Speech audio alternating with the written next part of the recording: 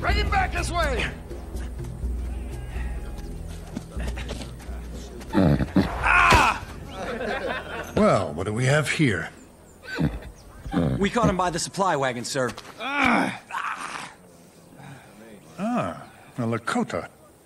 Not as tall as the Cheyenne, not as fine-featured as the Crow. Take him away, gentlemen. Show him our best. Corporal, take him to the stockades. Not the stockades.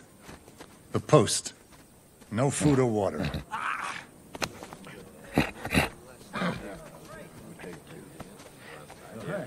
Come on! What are you looking at, boy? He was called Little Creek, and he seemed different from the rest.